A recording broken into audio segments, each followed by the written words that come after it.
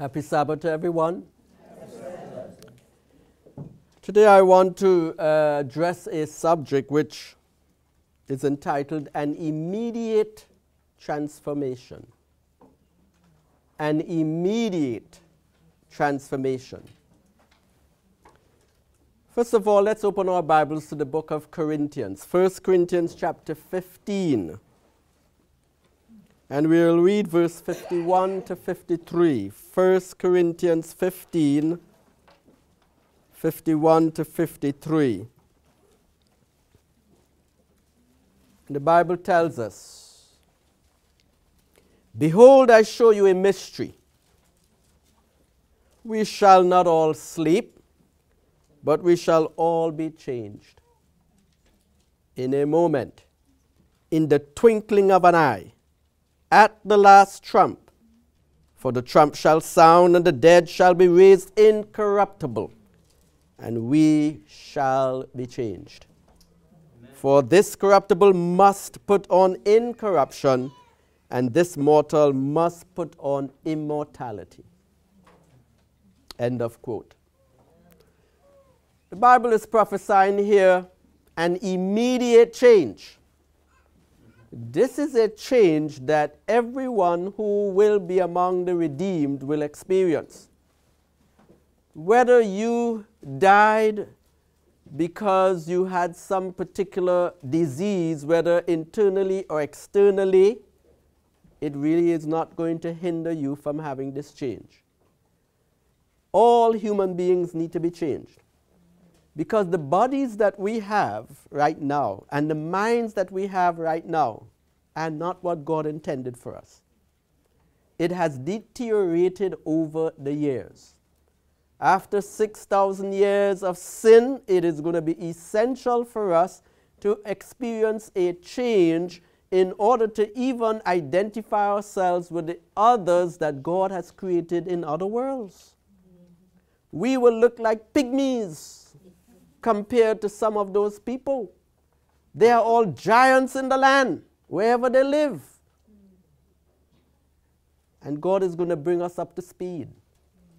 What sin has done to us, He is going to fix us Amen. in order to bring us back to where we were to be from the beginning.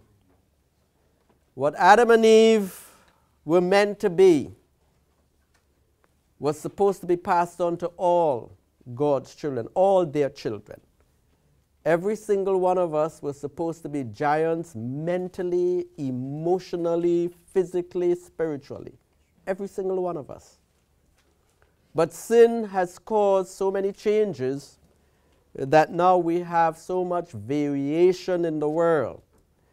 And it continues to get from bad to worse. You know, we haven't seen the worst of human degradation yet. Before Jesus comes on this planet, we are going to see how far human beings could go and their uh, deterioration from sin. We really haven't seen the end of it yet.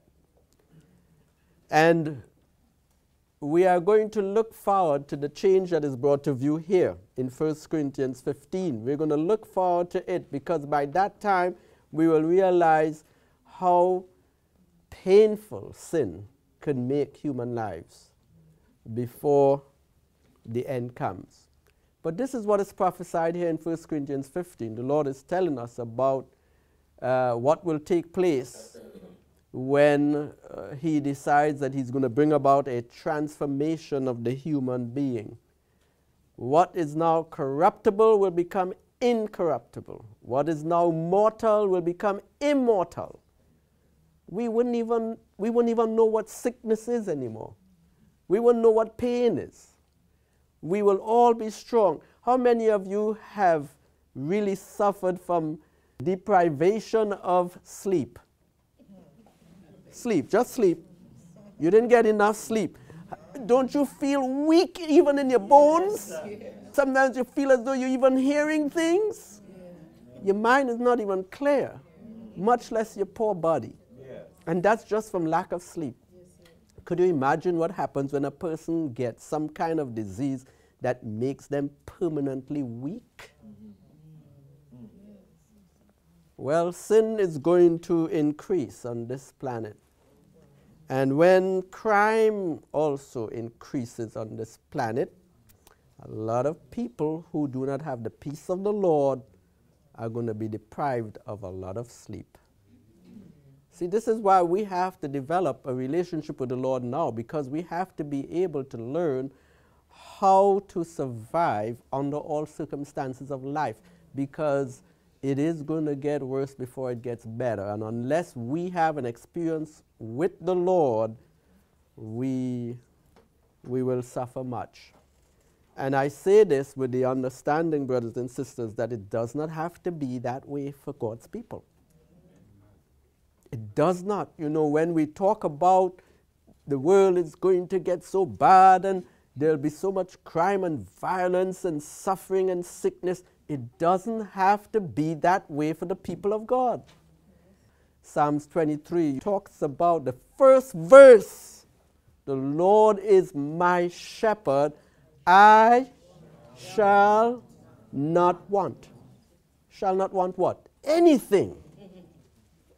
Anything. When he said, I shall not want, he meant that the Lord was indeed his provider of all things. That's the experience all of us must have.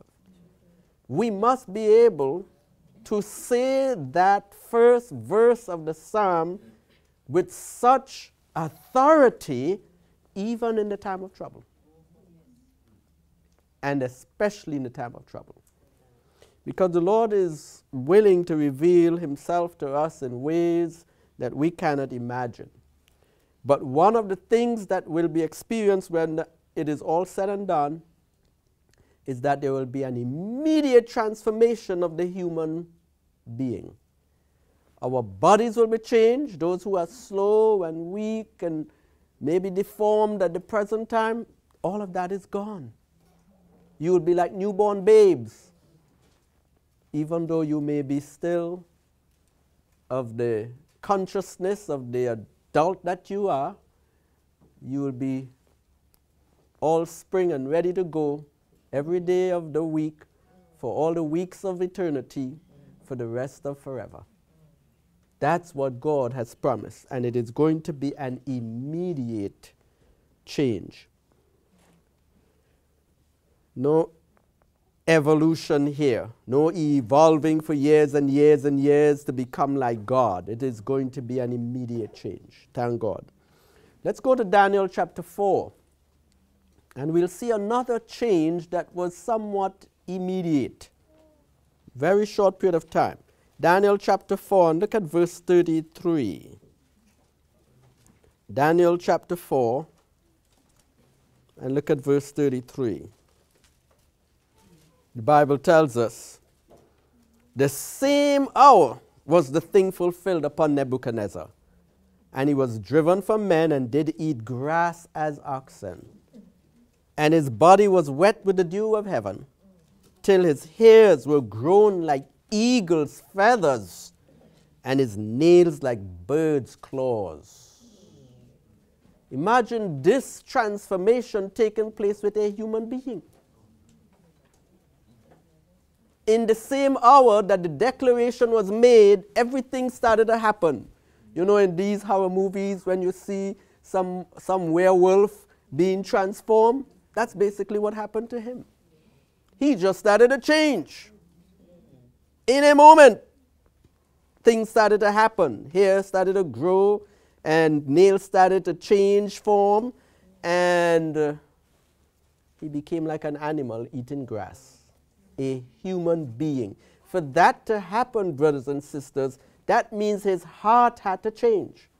His mind, in other words, had to be changed. He was no longer able to reason like a human being, he was thinking like an animal. So he was acting like an animal. Remember, thoughts are what really starts the process that leads up to actions.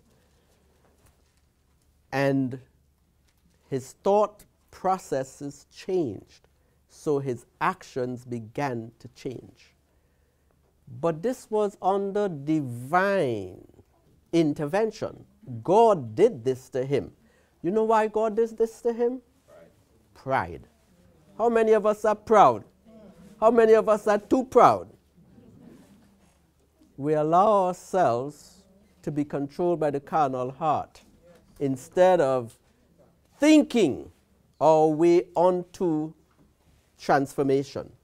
In cooperating with God, God will work to change us. But many times we just giving to the carnal way of thinking.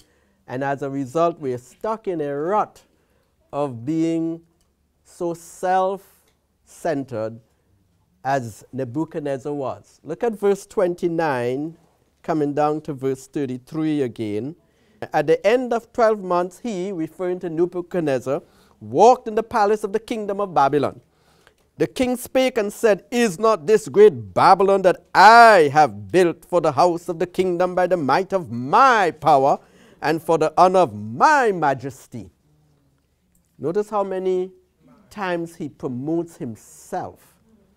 While the word was in the king's mouth, there fell a voice from heaven saying, O king Nebuchadnezzar, to thee it is spoken, the kingdom is departed from thee and they shall drive thee from men, and thy dwelling shall be with the beasts of the field.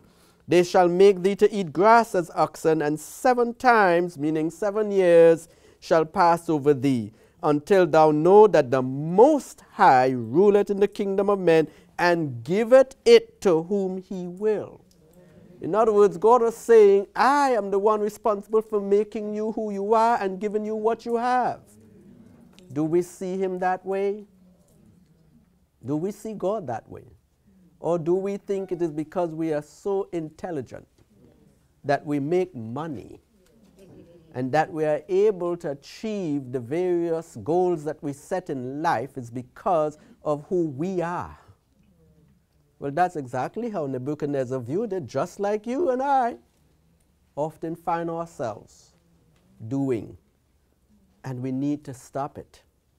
We need to stop it for our own good because even those who do not serve God and are successful in life, it is as a result of the grace of God. Yes. And Nebuchadnezzar may not have been serving God as he ought at that time, but God blessed him. And God gave him enough evidence that it was because of his divine intervention, and still this brother decided to take the glory upon himself.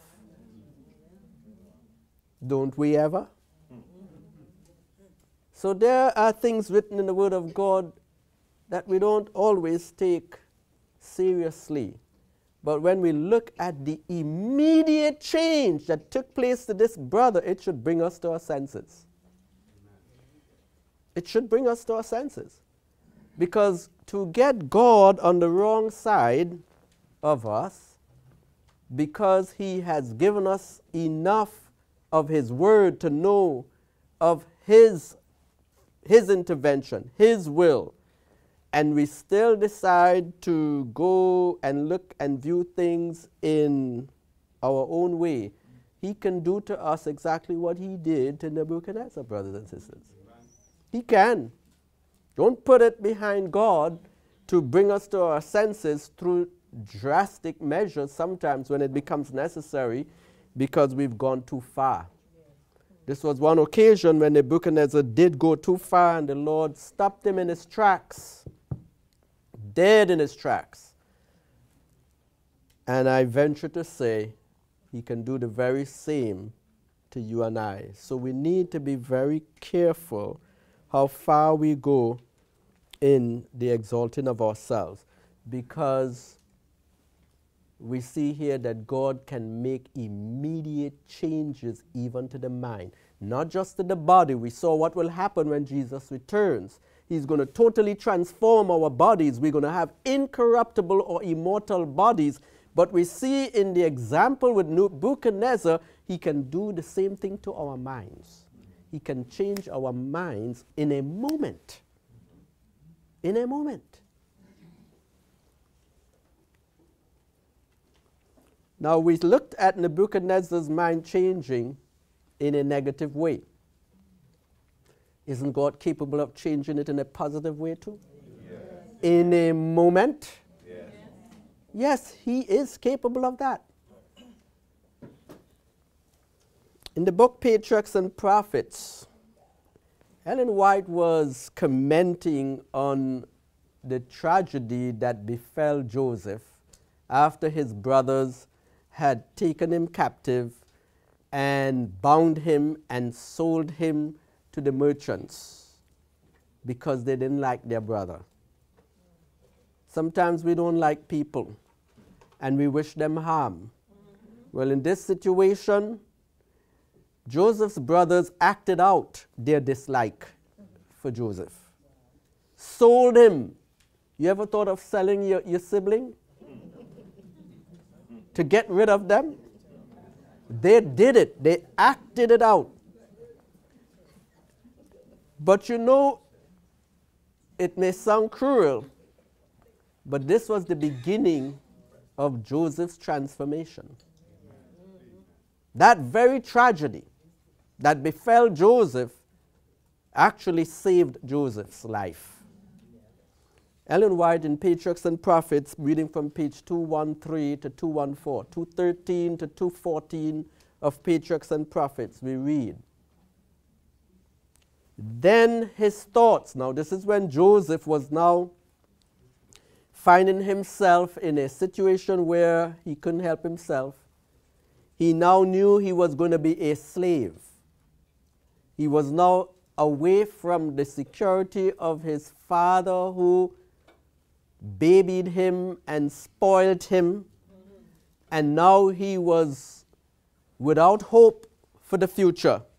And listen to what, now remember we said it how all the changes, whether good or bad, begin with the thoughts. Listen to this. Then his thoughts, that's Joseph's thoughts, turned to his father's God. In his childhood, he had been taught to love and fear him. Often in his father's tent, he had listened to the story of the vision that Jacob saw as he fled from his home, an exile and a fugitive. He had been told of the Lord's promises to Jacob and how they had been fulfilled. How in the hour of need the angels of God had come to instruct, comfort, and protect him and he had learned of the love of God in providing for men a redeemer. Now, all these precious lessons came vividly before him. Now, in this very moment of his tragedy, all these thoughts all of a sudden comes to him. Joseph believed that God, even the God of his fathers, would be his God. He then and there gave himself fully to the Lord. And he prayed that the keeper of Israel will be with him in the land of his exile. His soul thrilled. Now remember, he was just in a depressed state. You want to talk about depression? This brother had lost all hope. But his thoughts, he decided to channel his thoughts in a different direction. And in the process of doing so, of course, the Holy Spirit was helping to bring to his attention things that he had learned about God before. And now he began to determine that he was going to believe in that God that he heard about. And notice, and he prayed that the keeper of Israel will be with him in the land of the exile. His soul thrilled with the high resolve or decision to prove himself true to God under all circumstances, to act as became a subject of the King of heaven. He would serve the Lord with undivided heart. Now, this is these are the decisions he was making in that moment, brethren. He would serve the Lord with undivided heart. He would meet the trials of his lot with fortitude. That means strength. It doesn't mean weakness and vacillating. No. He would serve the Lord with, the, with undivided heart. He would meet the trials of his lot with fortitude and perform every duty with fidelity. One day's experience had been the turning point in Joseph's life. Its terrible calamity had transformed him from a petted child to a man, thoughtful, courageous, and self possessed.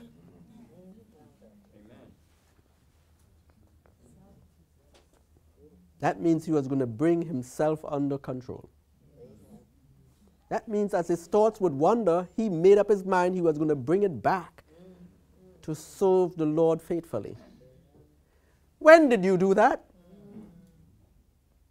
When did you make that resolve? When did you resolve to do that?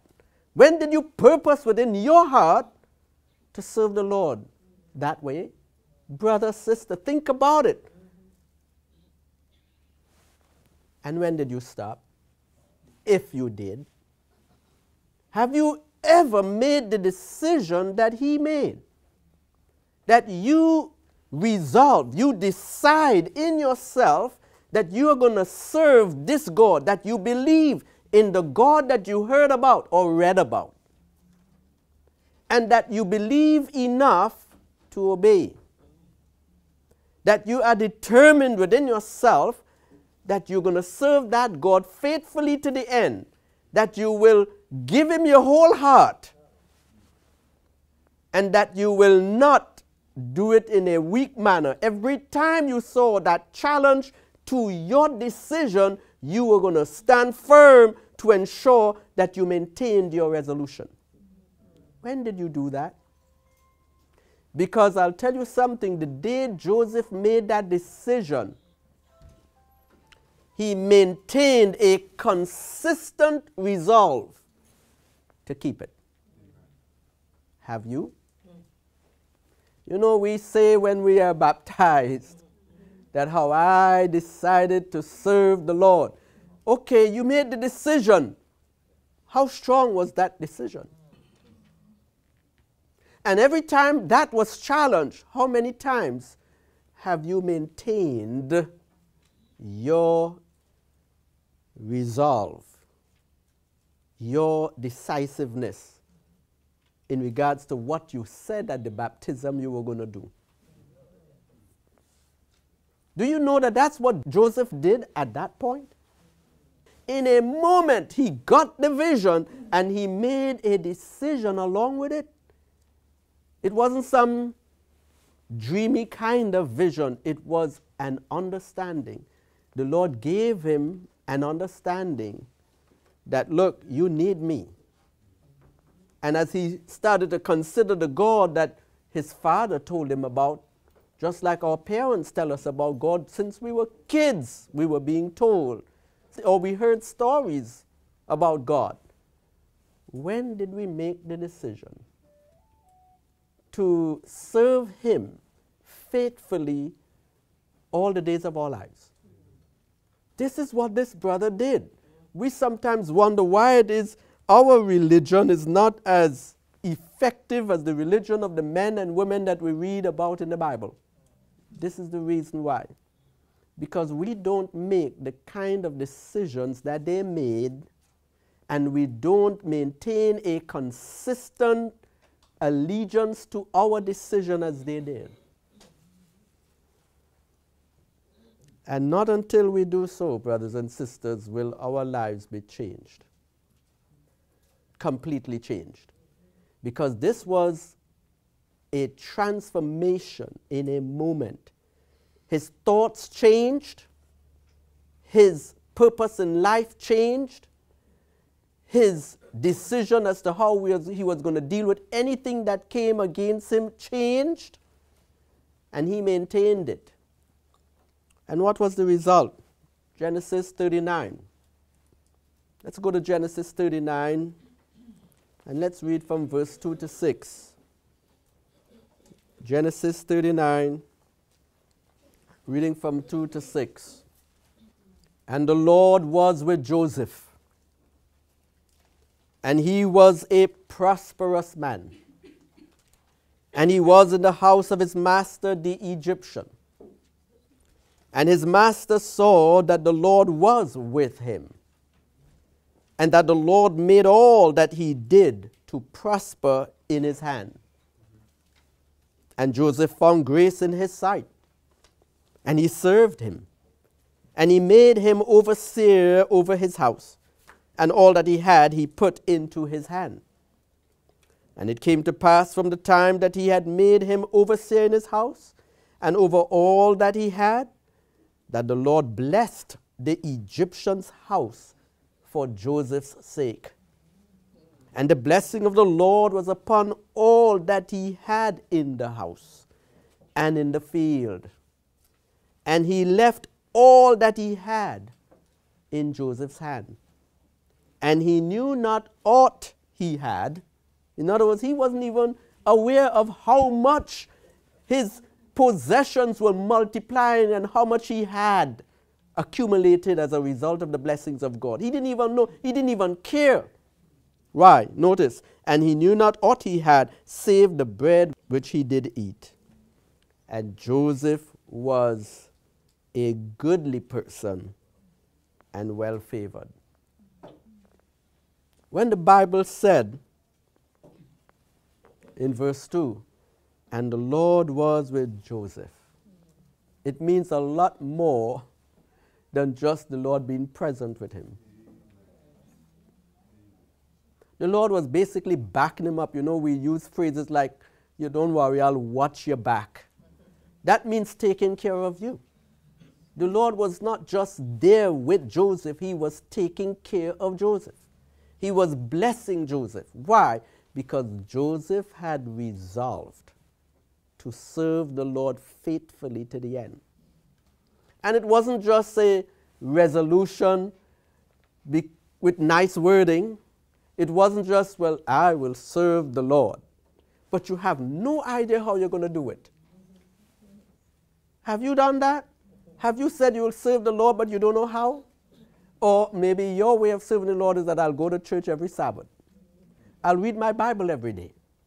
But what about all the other affairs of life that involve God? involves God. Have you decided to serve the Lord even in those things, in those circumstances of life? Well, that's what Joseph did. When you go back and you read what Joseph had decided, he had decided that anything that came, he was not going to have a divided mind.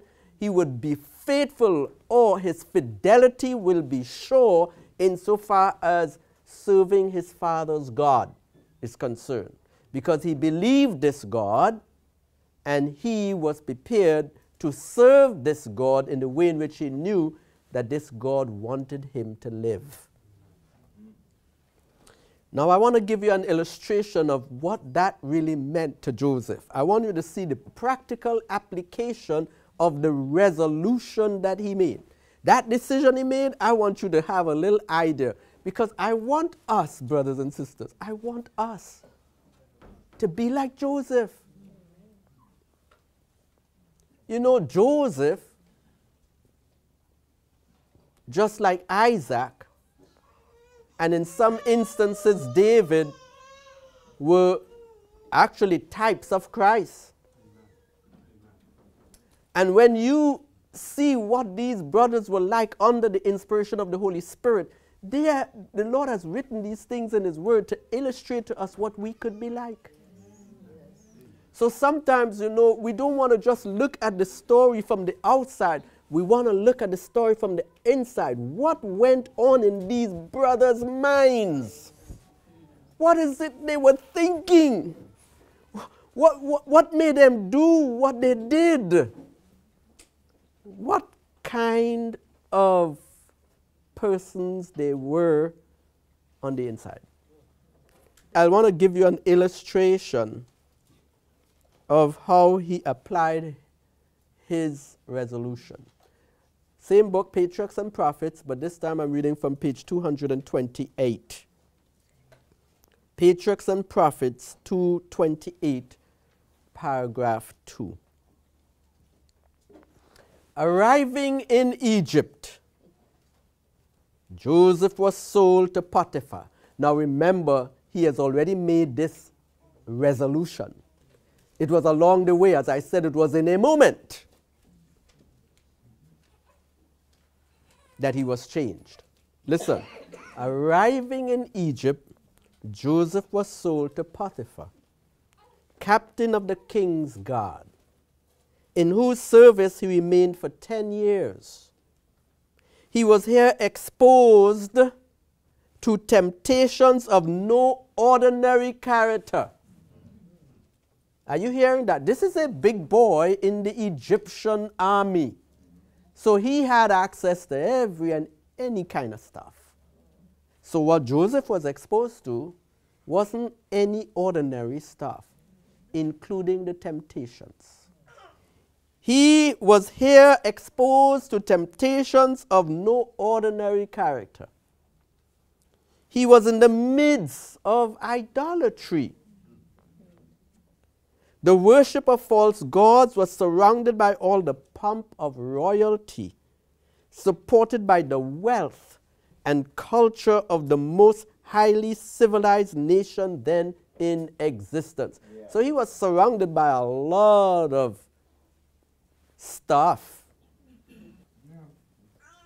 Yet Joseph preserved, listen to this now, despite all the material things and the moral stuff and the idolatrous exposure and all that sort of stuff, we are told, yet Joseph preserved his simplicity and his fidelity to God.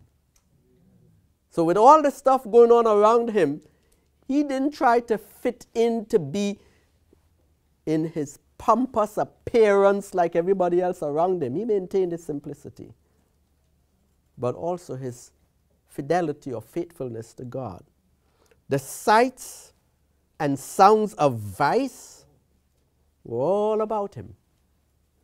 But he was as one, listen to this, he was as one who saw and heard not. Are you that way?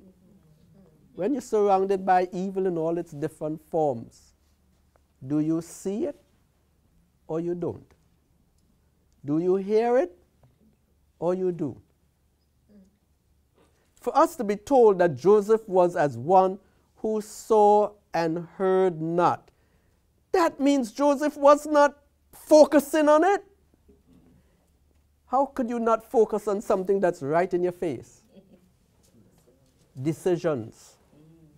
Decisions. Either you're going to gloss over it you, you, you, you're just soaking it in, or you're going to just make sure that you're not going to take it in at all. You're about your business. You're about your father's business. You think you could do that? Do you think you can see and not see and hear and not hear?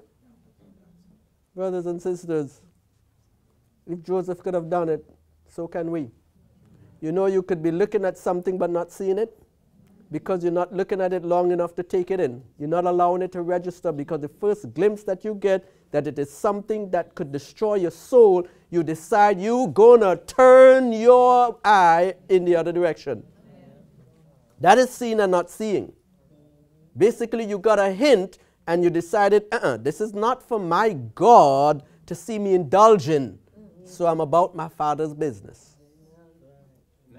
This is not for my God that I'm hearing coming. Uh uh-uh. uh You over here, I'm over there. That was Joseph. Why? He had already made a decision he was going to serve his God. Have you? You know, we think we have just because we say we accept Jesus. You accept Jesus, but do you accept Jesus' requirements for service? You accept him into your heart for what reason? If it is you're not going to allow him to have your cooperation in preserving your heart. Note, his thoughts were not permitted to linger upon forbidden subjects. The desire to gain the favor of the Egyptians could not cause him to conceal his principles. In other words, he wasn't trying to fit in and pretend as though, well, you know, I'm, I'm one of y'all. It's okay. You don't have to finger me out. You know, I'm not a sore thumb, different from everybody else. he was not afraid. You know why? He had one purpose. He had already made up his mind that he was going to serve his father's God. And he didn't care who was watching him. He was serving his father's God whether they saw it or not. And they certainly did because he didn't hide it. He didn't hide it. And he was not a loud mouth. He wasn't trying to, well, you know, I'm serving Jehovah. You can serve your idols. No, it was, a, it was about how he went about it, brothers and sisters. He was serving Jehovah in his heart. He was all about, no, no, no, this is not going to please my God, so I'm not going to please myself with it. I'm, I'm on the way. This was Joseph's decision from the beginning, and he was living up to his decision.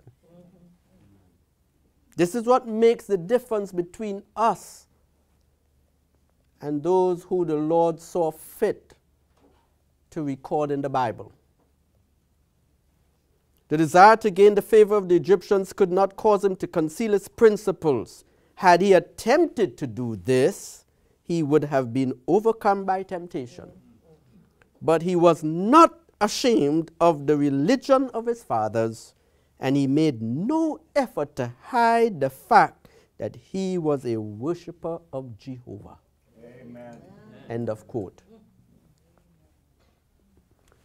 Isn't it nice when you take the time to understand the mind of a saint? Because we have different ideas of what a saint is like until the Lord opens it up to us. That's why we're so blessed with the gift of the spirit of prophecy. Because you know, the Holy Spirit could show us these things if we didn't have the spirit of prophecy and we were just reading from the Bible, but it has taken the time. God is so good. He has taken the time to open it up for us so that we can build on what God already showed to his servant Ellen White. We are able to look inside of the mind of a man who served God faithfully after being transformed in a moment. We think we can't change we have to have years before we get to where he was in one day. That's what we think. Years before I could really be a Christian, years before I could really start walking the straight and narrow path for the rest of forever. No, it does not necessitate years. Don't fool yourself. It has to do with your choice. It has to do with the decision you make as to when you are really going to serve God. You could fool people for as long as you think that you are a Christian. Oh, yes, they, yeah, they, they know I'm a Christian because I do Christian things. I feed the poor and I, and I, and I go and I, and I give my tithe and I, and, yeah, oh, he's a Christian. But what about the inside? If we open up the head and we get to see the thoughts on the inside, when the challenges, when the, when the sins when the evils confront them, are they a Christian still? Do they act like a Christian in your absence? When nobody's around but you and the temptations and God? Are we still Christians? That's why the Lord was able to do for Joseph what he did. God was with Joseph. Basically, he began to have the experience that Enoch had. God walked with him. And he didn't walk with him just to keep him company, he walked with him to bless him. And that's why the scripture said that he prospered in everything that he did. And it was not a prosperity based upon the fact that he was accumulating wealth. This brother was of such an experience that he was blessing and became a blessing to his master. Everything he touched turned to gold, so to speak. Why? Because God was pleased, pleased with the service of this brother who had made up his mind to give him everything. Why can't we do that? Why shouldn't we do that? Why, why, why shouldn't the Lord really compare us with these brothers who did it while we are saying, well, you know, I just don't have it in me. I don't know how they did it. You know how they did it? They made a decision and they depended on the Lord for the help to maintain their decision. Amen. That's how they did it. It wasn't some mystery. Unlike Nebuchadnezzar, in other words, Joseph did not allow pride or opportunity to make him lose sight of his commitment. Remember Potiphar's wife? That was most probably one of the biggest challenges he may have had. How did he deal with it? The same way he dealt with every other temptation that came to him. He, he, it was what he saw and what he heard was like if it wasn't even there. Once he recognized it was to lead him away from his fidelity to his God. So, you know the privileges that would have been opened up to him if he went along with Potiphar's wife? That was the master's wife. But he said no. And you remember his words? How can I do this great wickedness and sin against God? He had his focus, brothers and sisters, was really just to please God. But you see, that test came to him after he had already passed other tests. He was already developing a certain habit in his life in regards to how he would deal with anything that wasn't right in the sight of God. Do you know that for those of us who receive the seal of God in these last days, Ellen White makes it clear that there must not be one stain of sin on our characters. So, when are we going to make the decision? When are we going to make the decision or resolve to serve the Lord with all our heart? Not a divided heart, all our heart. Mm-hmm. When will we make the decision? I don't, I, I don't need to hear about your baptism decision. I want to hear about your decision to serve God. The real one. When are you going to make it? Because not until you make that decision are you safe. Not until we, because you know why? Because death is not foreign to us. We can pass away anytime. Mm-hmm. But when you make the decision the Lord is able to watch over you in a way because you become extremely valuable to his cause, as Joseph became at that point. God knew what was going to happen to his people, and he needed an instrument to operate through in order to bless his people at a time when a time of trouble was going to come upon them, because it was coming. What the children, what the Hebrews experienced, what the children of God experienced, was a time of trouble such as never was for them. And it came shortly after because a new king arose as the Pharaoh of Egypt, who knew not Joseph's God. And he did not like the Hebrews. That's why we read now in history about the, the difficult time they had as slaves under these new pharaohs. But God had prepared a way for his people to find blessings ahead of that persecution time. And he used Joseph because Joseph was truly faithful in his service to God. Who is he going to use today? How many of us are going to prepare ourselves that we could receive the seal of God? He's not going to put a seal of, on, on us unless we make the kind of commitment that Joseph did.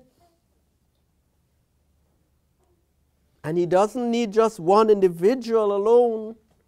He's looking for a people that will make that decision because his seal has to be placed upon a people that he could send throughout the length and breadth of the earth to represent him. Not just one individual. Joseph was just going out into Egypt, and he was, God was going to use Egypt as the place to pave the way for his people to, to get ready. But now he has to prepare his people all over the world. And He needs some of us that He could rely upon. So, brothers and sisters, we have to get to know God. We have to get to know God. And like Joseph, we have to believe in that God. It's not just a matter of knowing about God, we have to believe God. Because if we do not have that experience of getting to know God and believing in God, we are not going to put our total dependence upon Him in the face of our present challenges, nor in, this, in, the, in, in the face of the challenges that are yet to come. And we're living in a time where we're seeing the world is changing, our nation is changing. And we have some serious stuff coming up. People are changing, and they're changing towards those who want to hold on to the traditional form of Christianity It's a new form of Christianity that is coming to the forefront in this world.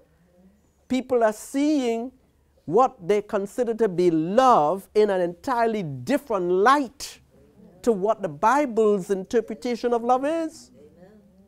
And anybody who doesn't see it their way, they consider you to be a hater. So we need to get to know God. We need to get to know God and we need to be able to have an experience with Him like Joseph so that we can have the assurance that He will be with us as we find ourselves deeper down in Egypt.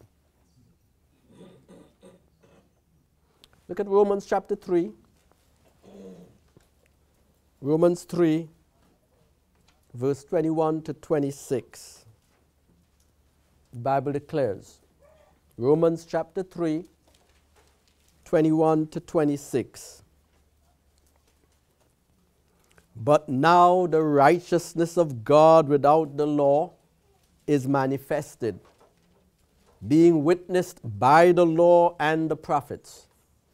Even the righteousness of God, which is by faith of Jesus Christ, unto all and upon all them that believe for there is no difference. For all have sinned and come short of the glory of God, being justified freely by his grace through the redemption that is in Christ Jesus, whom God had set forth to be a propitiation through faith in his blood, to declare his righteousness for the remission of sins that are past through the forbearance of God, to declare, I say, at this time his righteousness, that he might be just and the justifier of him which believeth in Jesus. Brethren, we're now living in a time when we can experience righteousness by faith.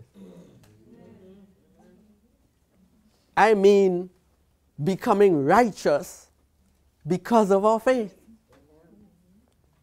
That is not because of our works that we end up being acceptable in the sight of God, but because of Jesus' righteousness, which we believe we receive by faith. Sounds like a whole lot of words, but hopefully, with the help of the Holy Spirit, you'll, you'll follow what I'm saying. We looked at Nebuchadnezzar changing into an animal in a moment. We looked at huma- human beings who are faithful in the end being transformed even physically in a moment, in a twinkling of an eye, the Bible said. You blink your eye and you're, you, you're a different person. Incorruptible, immortal.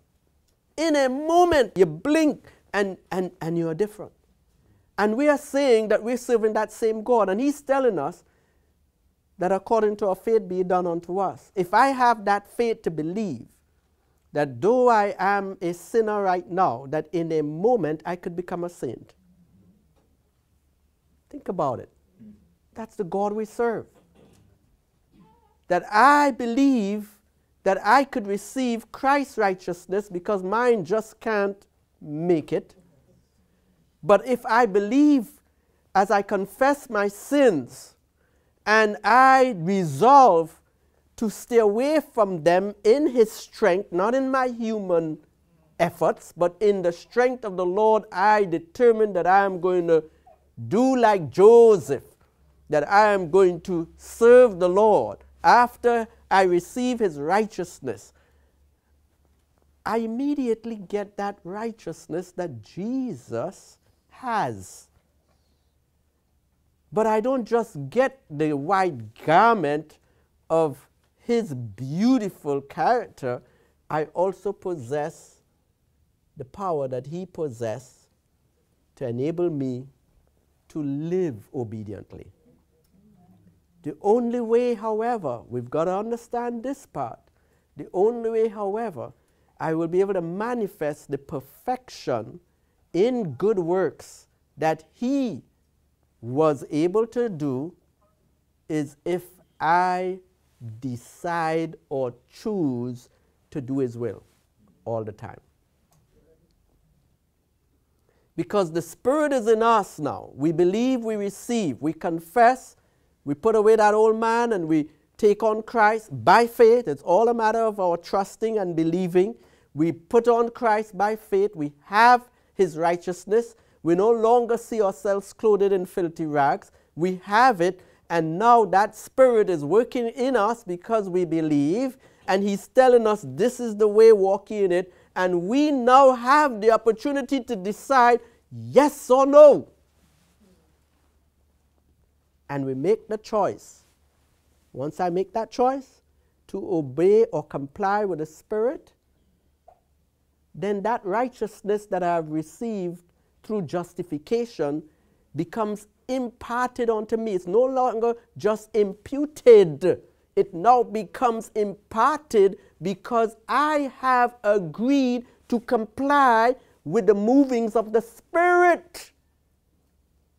And that is now being imparted unto me.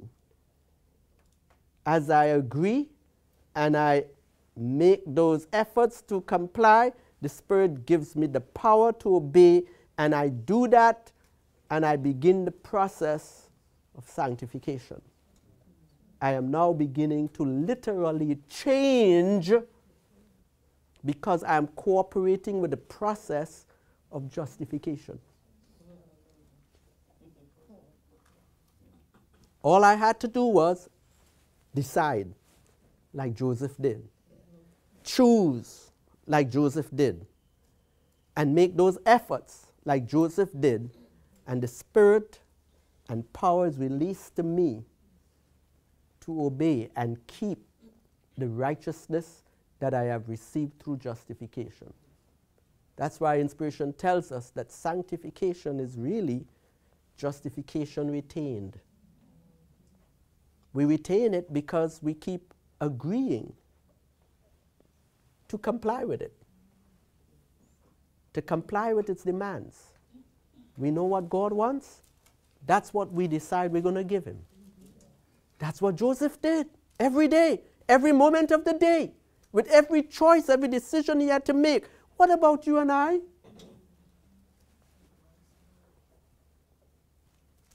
You think we have any excuse in the judgment when others have done it before us? The sooner we decide that we are going to do what the Lord said, like they did, the sooner we become true saints.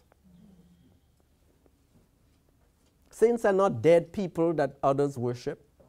Saints are living beings that worship God in spirit and in truth. They truly comply with God's will because they surrender their wills to His all the time. That's a saint. And we all could be it's given to us that privilege, that opportunity every single moment of every day. We are given the privilege of becoming like Christ. After receiving Him, He now is willing to impart those characteristics into our being. It is infused into us once we make the choice or the decision to comply with His will. Is that is that so complicated? God has made it simple enough for us to understand.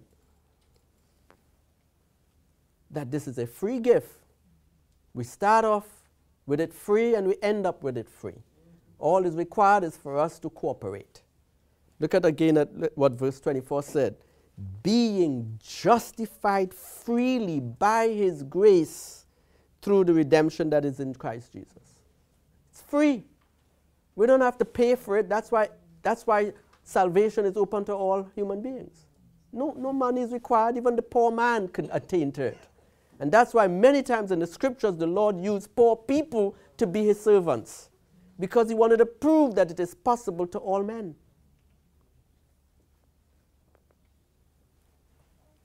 So we need to put on Christ in truth, not just be talking Jesus talk. Not because you know the Bible, it means that you are a Bible believer. You could know the information just like the devil also knows and trembles, but he's no Christian because he does not choose God's will. He does not decide to do God's will. But when we do it, we make distance with him.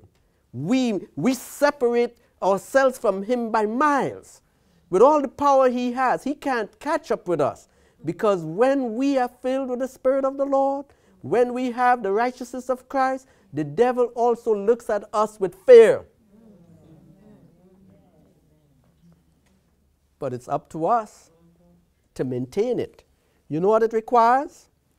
Consistency in doing right, consistency in choosing right, because that's where it all begins. It all begins with our thoughts and the choices that we make in small things as well as in large things. It just requires of us to do like Joseph and choose the right thing. And we do that all the time, and we are okay. We don't have to worry about whether we're going to be saved because we know our salvation is really dependent upon our relationship with Christ. Do I believe I have Him? Do I believe He's mine? Do I believe He has imputed His righteousness unto me? Do I believe I still have it? Am I keeping it by cooperating with Him in maintaining His will and in utilizing the power that He makes available to me when I receive Him by faith? Yes. Once I am making that earnest effort and I am maintaining that faith, we will grow. That's why we are told we grow from faith to faith. I want to share a statement with you from the book Ministry of Healing. Ministry of Healing, page 351. And I'm reading from paragraph 1. Ministry of Healing 351 and paragraph 1. It is by the youth and children of today that the future of society is to be determined. And what these youth and children shall be depends upon the home. Isn't that what we saw happen in the case of Joseph? Yeah, that's what happened. God was able to pave the way for his people because he had a father who was working on a son or on his sons at home. And Joseph was complying. And it made all the difference later on when he was disconnected from his father and from his home. So I'm going to read it again. It is by the youth and children of today that the future of society is to be determined. And what these youth and children shall be depends upon the home. Listen to this now. This, this was a shocker to me. To the lack of right home training may be traced the larger share of the disease and misery and crime that curse humanity. I'm going to read that over and, and see if you grasp this.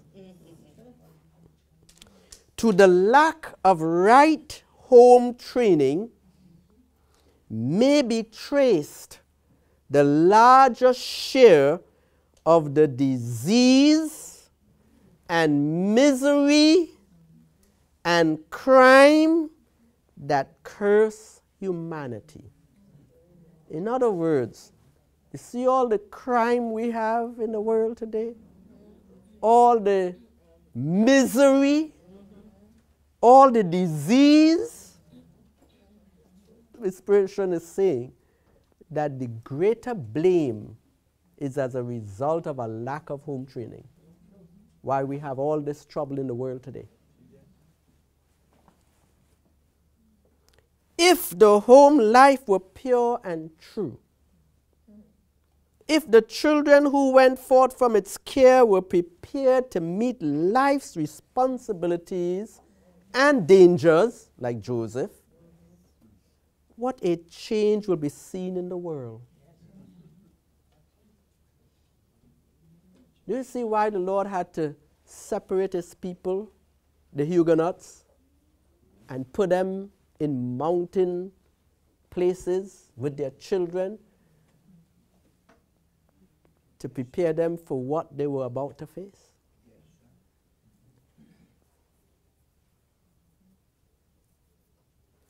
Brothers and sisters, we don't realize how important it is the contribution we make in training children and young people, even today.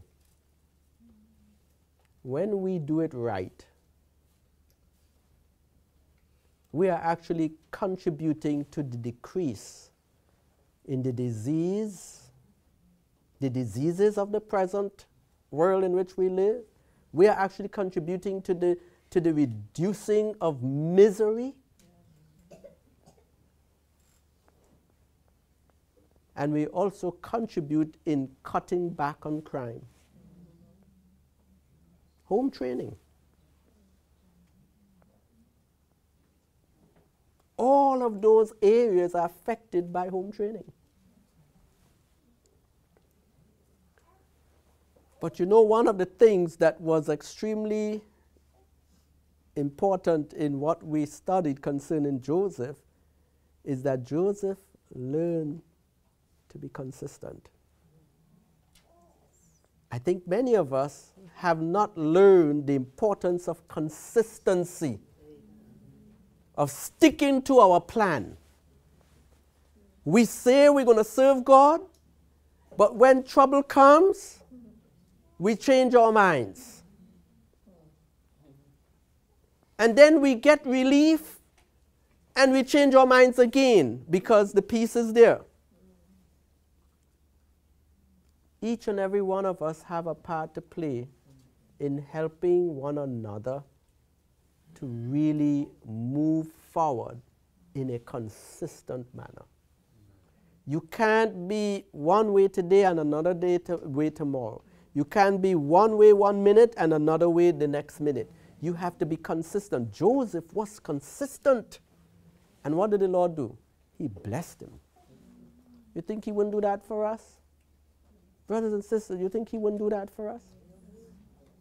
we have to learn that when we make up our minds that we're going to serve the Lord, even if we did not get, don't blame your parents now, even if we did not get the upbringing that we read about in the law and the testimony, we are now big men and women, most of us. What are we doing with our training, our personal training? Didn't you hear inspiration said that Joseph became a man? He learned to control himself. He learned to control himself. You know how? He learned to control his mind. He learned to control his thoughts. Repeated thoughts results in repeated actions. If you, if you keep repeating the same thoughts over and over again, or the same words over and over again, it will result in the same actions over and over again. So sometimes when you see your actions are wrong, you need to change the thoughts and the words so that the actions will change. But you have to be consistent. You want to bend a tree, you can't be letting it go all the time and then pulling it and then letting it go. You have to bend the tree and hold it right there. Make sure it doesn't go back, and then you bend it a little more. It mightn't be very hard, but it will be a consistent one direction that you're going in all the time. Until that tree ends up getting the message and it can't grow in, in any other direction. So, brothers and sisters, you've got to bend your tree. You're on my tree personally. We have to become more consistent than we are in training ourselves in the way of the Lord. Joseph did it, and you know what? He didn't have his father around to help him, but he had God. And he made sure that as the challenges came, he did the same thing over and over again. Same thing over and over again until he got it into his bones that when the big test came to him, he was the same person.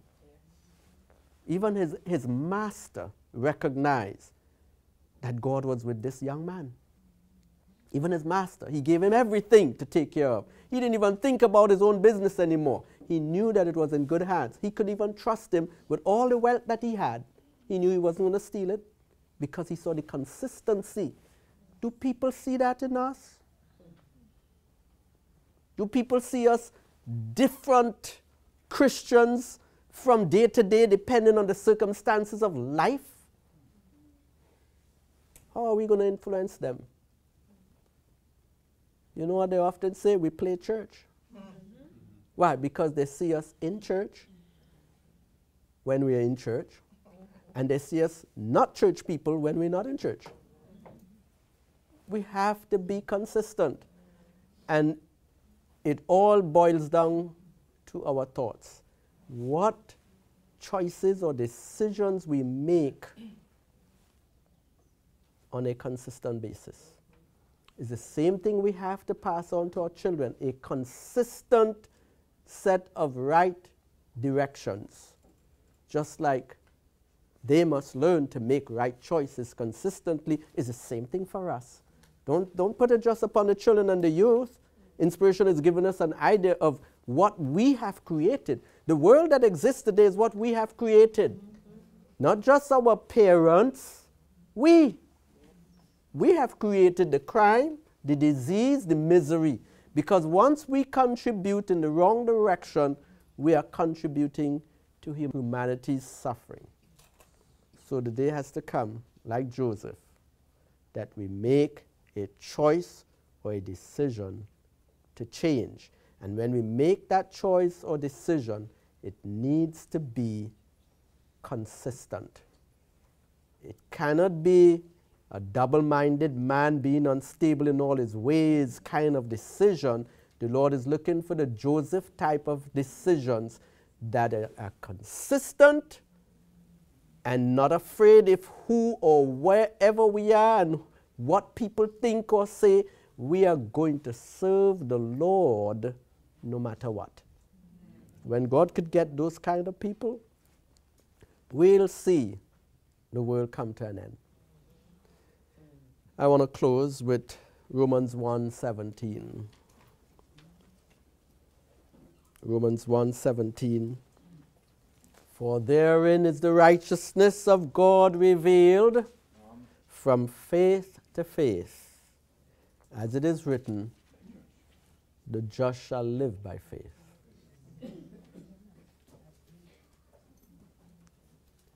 from faith to faith it shows us that faith is a growing thing. We build on what we have. We don't decrease on it, lest we find ourselves always going backwards and starting all over again. We build on the faith that we have. That's what Joseph did from faith to faith. Every new challenge that came to him, he, he dealt with it the same way. He was going to serve the Lord faithfully. And he did exactly that. So, what choices are you planning to make in the next 24 hours that you know are wrong choices?